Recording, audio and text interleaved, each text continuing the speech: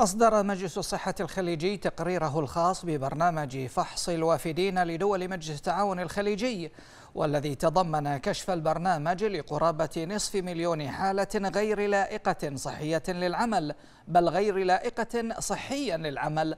وذلك عن الفترة الممتدة من يناير 2017 إلى أغسطس 2021 ويشكل هذا العدد ما نسبته 6% من إجمالي عدد المفحوصين في البرنامج بهدف العمل في دول المجلس وصل عددهم إلى نحو ثمانية ملايين وافد وتم فحصهم في بلدانهم.